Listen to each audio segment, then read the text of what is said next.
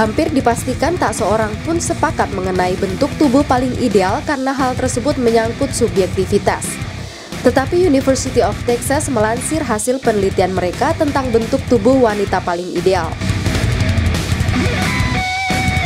Hasil penelitian tersebut menyimpulkan bahwa tubuh wanita yang sempurna memiliki tinggi 168 cm, lebar dada 99 cm, pinggang 63 cm, dan ukuran pinggul 91 cm.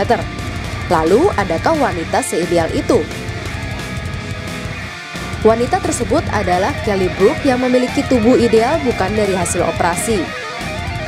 Brooke yang berprofesi sebagai model, presenter televisi, dan aktris dinobatkan sebagai figur bak jam pasir yang paling sempurna.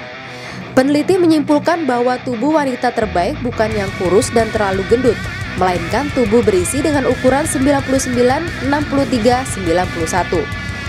Tubuh yang demikian, kata hasil studi, memiliki banyak kebaikan secara kesehatan dan kesuburan, sehingga wanita mudah melahirkan serta memiliki anak.